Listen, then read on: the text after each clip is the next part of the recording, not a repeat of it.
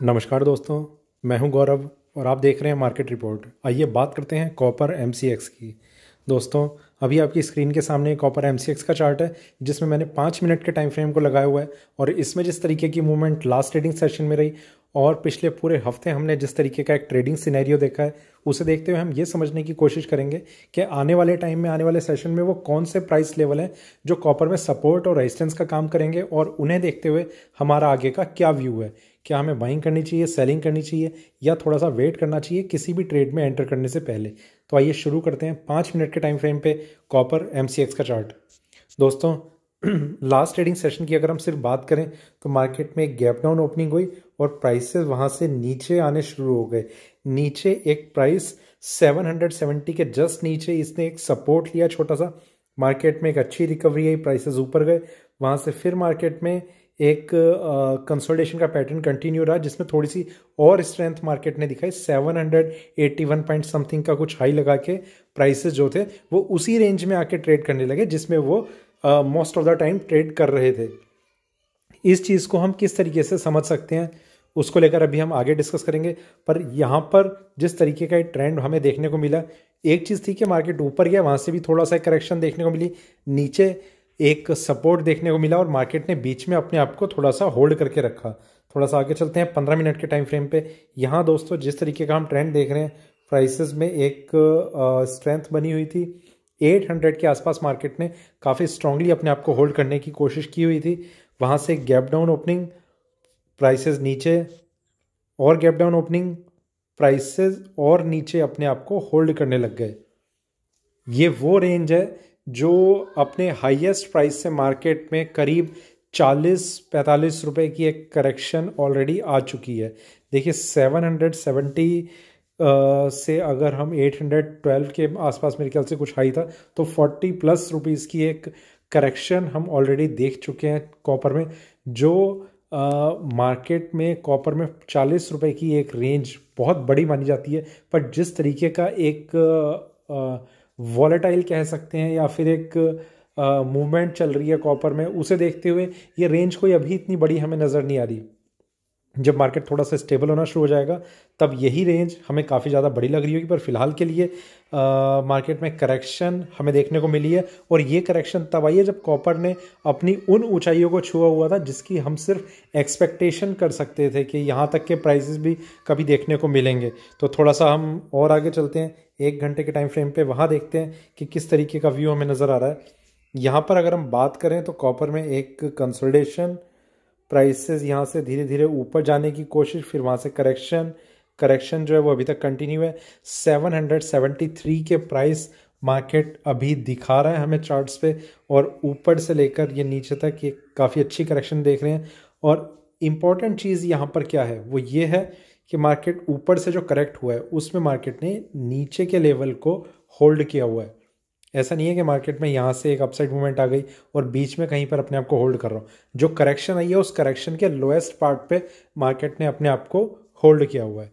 ये सबसे ज़्यादा इंपॉर्टेंट चीज़ है जो कॉपर में हमें नज़र आ रही है। आगे का व्यू और थोड़ा सा लेते हैं। देखते हैं मार्केट में किस तरीके का हमें व्यू नज़र आ रहा है। चार घंटे के टाइम फ्रेम पे अगर हम बात करें तो कॉपर में एक स्ट्रॉन्ग कंसल्टेशन पार्ट जो कंटिन्यू था सिक्स हंड्रेड एट्टी से सिक्सटी रुपीज़ के बीच में, यहाँ से थोड़ी स्ट्रेंथ बननी शुरू हुई। देखिए, उन दिनों भी कॉपर में ये एक्सपेक्टेशन नहीं थी कि ये हाई प्राइस ब्रेक करेगा, पर जिस तरीके से इसने वापस 700 के आसपास के प्राइसेस को टच करने की कोशिश करी, वहाँ पर कुछ ऐसे साइन आने लग गए थे जो डाउन साइड को ख़त्म करते हुए नज़र आ रहे थे और अप साइड के एक पार्ट को छूने की कोशिश कर रहे थे, पर वहाँ से एक स्ट्रेंथ जो थी वो बनी रही और मार्केट में ऊपर के प्राइसेस को टच करके और फ़िलहाल हम देख रहे हैं करेक्शन हमें देखने को मिल रही है। देखिए यहाँ पर अब कुछ ट्रेडर्स ऐसे हैं जो इंट्राडे में ट्रेड करते हैं, कुछ ऐसे हैं जो पोजिशनल ट्रेड करते हैं, कुछ ऐसे हैं जो ट्रेड इंट्राडे करते हैं, पर उनका ऑटोमेटिकली जो ट्रेड है वो पोजिशनल में कन्वर्ट हो जाता है। रीज़न बींग के वो अपनी पोजीशन को होल्ड कर लेते हैं। और होल्ड कब करते हैं? जब ऑब्वियसली उन्हें लॉस हो रहा होता है। प्रॉफिट में कोई ट्रेडर अपनी पोजीशन को होल्ड करने की कोशिश भी नहीं करता ना उस स्ट्रेटजी को फॉलो करने की कोशिश करता है जो उसे सबसे ज़्यादा बेनिफिट दे सकती है। पर यहाँ पर आ, कई ट्रेडर ने शॉर्ट पोजीशन को होल्ड किया। अब कुछ ऐसे हैं उसमें जो बिल्कुल एग्जॉस्ट हो चुके हैं। आ, अपने पैसे को लेके ख़त्म हो चुके हैं, अपने एक उम्मीद को लेके ख़त्म हो चुके हैं और कॉपर ने उस प्राइस को ब्रेक कर दिया जो वो सोच भी नहीं सकते थे। 800 ब्रेक हो गया मार्केट में लगातार एक तेज़ी है प्राइसेस कहाँ जा रहे हैं? क्या वो गिरेंगे भी या नहीं गिरेंगे? पर जिस दिन 800 को ब्रेक किया मार्केट ने उसी दिन से एक करेक्शन दिखानी शुरू कर दी और अभी हमारे सामने सेवन का एक प्राइस है। देखिए दोस्तों, हमारे पास बहुत कम टाइम पे ऐसे हमें एक अपॉर्चुनिटी मिलती है जिसे हम एनकैश कर सकते हैं। यहाँ पर मैं आपसे ये कहना चाहूँगा, ये एक पार्ट आया था जो मार्केट में थोड़ा सा इस चीज़ को बहुत स्ट्रांगली इसने कंफर्म नहीं करा था, पर ये थोड़े से साइन थे, ये उम्मीदें थी कि इस पार्ट के बाद मार्केट करेक्ट होना शुरू कर देगा। ठीक है, जिन्होंने भी इस कंसोलिडेशन पार्ट में सेलिंग की होगी और अभी तक होल्ड किया हुआ है, देखिए यहाँ पर आपका मनी मैनेजमेंट काम आता है। आपको पता होगा कि आपने उसे यहाँ तक होल्ड करके देखा है या नहीं देखा है? अगर देखा है और थोड़ा सा बैकअप आपके पास अभी भी है तो जिस तरीके के सिनेरियो आप कॉपर में बने हुए हैं, मैं ये रिकमेंड करना चाहूँगा कि आप आप फ्रेश ट्रेड कोई ले सकते हैं इस रेंज के बीच में, जिसका स्टॉप लॉस आप इसका हाईएस्ट लेवल पे लगा के रखें। देखिए, आप अगर थोड़ा सा इसे पोजिशनल लेके चलेंगे तो एक बम्पर प्रॉफिट आप ध्यान दीजिए बम्पर प्रॉफिट आपको मिल सकता है। तो इस तरीके का एक सिनेरियो कॉपर में अभी बनता हुआ नज़र आ रहा है। ये चीज़ें एकदम से डेवलप नहीं होती चार्ट्स पे कि आपने कोई शॉर्ट सेल किया और एकदम से आपको पाँच सौ मतलब पचास साठ रुपए कॉपर में प्राइसेस आपको नीचे मिल जाएँगे। जो लॉन्ग पोजीशन होल्डर होंगे, देखिए, कोई तो होगा जो मार्केट को यहाँ तक ले गया वो बहुत बड़े प्लेयर हो सकते हैं या फिर वो हो सकते हैं जिन्हें ये उम्मीद है कि प्राइसेस जो हैं वो 800 के लेवल को टच करेंगे। वो जो भी हो, पर प्राइसेस जो हैं वो धीरे धीरे ऊपर जा रहे थे और कई ट्रेडर वाकई में ऐसे होंगे जो मार्केट प्लेयर्स होते हैं, उन्होंने कॉपर में इस तरीके की होल्डिंग बनाई होगी कि 800 के प्राइसेस पे ही उन्होंने लगभग एग्जिट किया होगा। मतलब हर तरीके के ट्रेडर हैं। वो उनकी गिनती एक परसेंट में ही भले हो, पर वो ट्रेडर होंगे और वो वही होते हैं जो आपके लॉस को अपने प्रॉफिट में कन्वर्ट करना जानते हैं। ठीक है? तो अभी अगर आपके पास कोई अपॉर्चुनिटी है ऐसी तो आप उस, आपको उसे एनकैश करना चाहिए। प्रोवाइडेड कि आपका मनी मैनेजमेंट ठीक होना चाहिए। कहीं ऐसा ना हो कि आप मार्केट में दो तीन दिन आपने कुछ ऐसे देख लिए कि प्राइसेस तो नीचे आ ही नहीं रहे और फिर आप ये सोचने लगे कि मुझे अब इस ट्रेड में नहीं रहना। इस स्ट्रेटजी पे एक बार और अभी थोड़ा सा डिस्कस कर लेंगे, थोड़ा सा और आगे चलते हैं। डेली चार्ट्स पे वहाँ देखते हैं कि किस तरीके का व्यू हमें नज़र आ रहा है।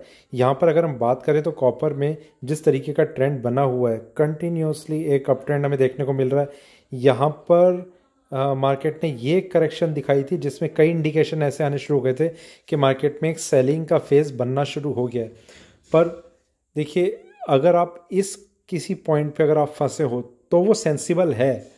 उसका रीज़न ये है कि चार्ट्स पे एक इंडिकेशन ऐसे आने शुरू हो गए थे कि मार्केट में एक सेलिंग नज़र आ रही है। प्राइसेस जो नीचे की तरफ़ जा रहे हैं। और टेक्निकल चार्ट्स पे भी बहुत सारे स्ट्रॉन्ग इंडिकेशन सेलिंग के आ गए थे। पर स्ट्रेंथ इतनी थी कि वो सेलिंग की सेल सारी की सारी बेकार हो गई और मार्केट ने एक और वेव बनाई जो हम सेकंड थर्ड कोई भी वेव कह लीजिए इसे कोरोना वायरस की तरह। तो उसने ऊपर ले जाकर 800 के प्राइस को टच किया। हमारे पास यहाँ पर, इसीलिए मैं कहता हूँ कि हमारा फंड मैनेजमेंट कैसा है, वो बहुत इंपॉर्टेंट रोल प्ले करता है हमारी किसी भी ट्रेडिंग स्ट्रेटजी में। यहाँ पर ये एग्ज़ाम्पल है, अगर आपके पास सौ रुपये थे तो आपने बीस या तीस रुपये का ही मार्जिन यूज़ किया इस पहली वेव में, ठीक है? मार्केट ऊपर गया। हमारे पास सेकंड चांस है अब यहाँ पर इसे बेचने का। तो यहाँ पर 20 से 30 रुपए और हम यूटिलाइज कर सकते हैं यहाँ पर।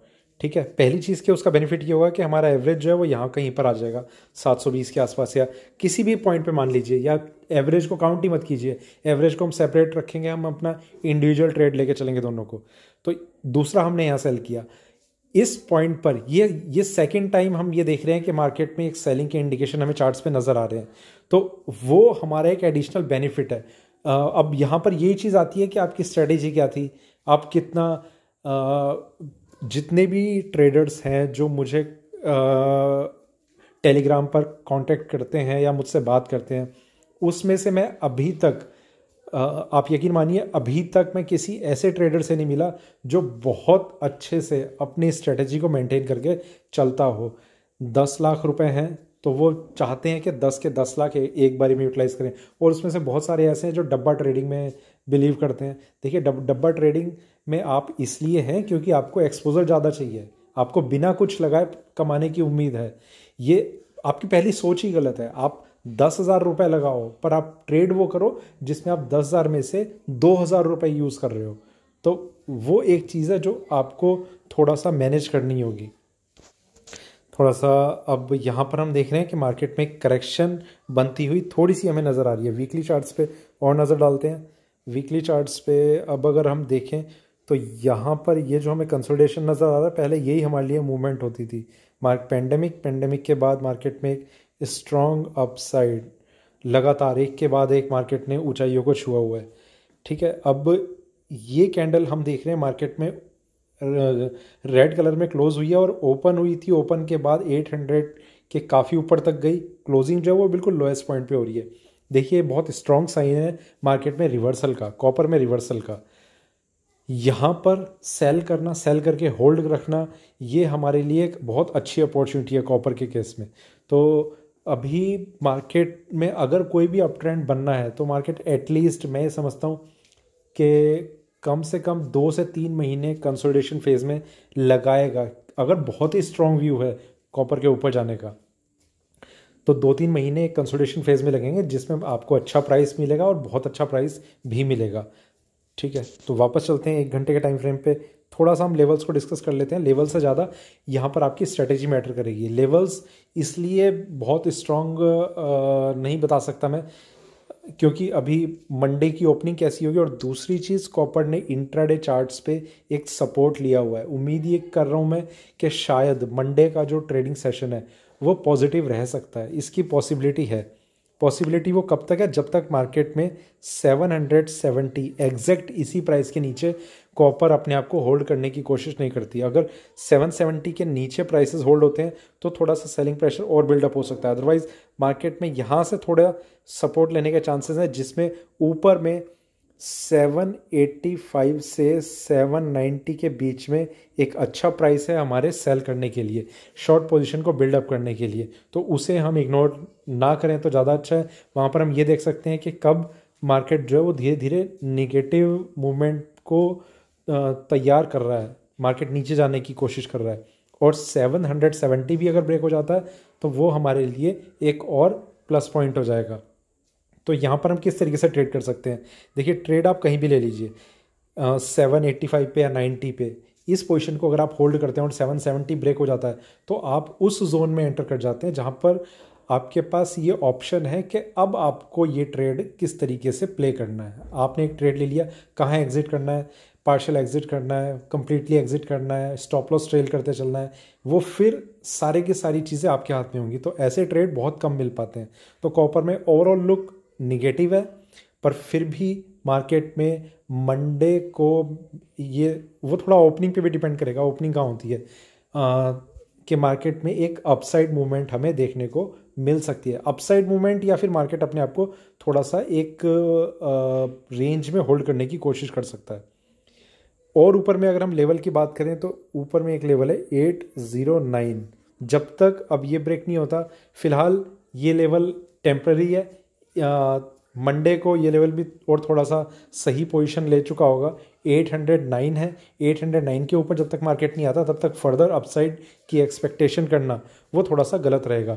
डाउन साइड में 770 इसके बाद एक लेवल है 725 के अराउंड ठीक है 725 तो ये हमारे सामने ये लेवल्स हैं, बहुत बड़े बड़े गैप पे हैं। आप थोड़ा सा ध्यान से आप ट्रेड कीजिए। ट्रेड वो लीजिए, देखिए कॉपर में एक रुपये पर बहुत ज़्यादा प्रॉफिट या लॉस रहता है। तो आप ट्रेड सिर्फ़ वही ट्रेडर ले जो थोड़ा सा मैनेज कर सकता है कॉपर के ट्रेड को। आप समझ रहे हैं कि इसका मार्जिन ज़्यादा रहेगा, इसमें प्रॉफिट लॉस आपको ज़्यादा देखना पड़ेगा। तो जहाँ आपका प्रॉफिट ज़्यादा है, वहाँ पर आपका रिस्क भी ज़्यादा है। तो थोड़ा सा आप ध्यान से ट्रेड कीजिए। धन्यवाद।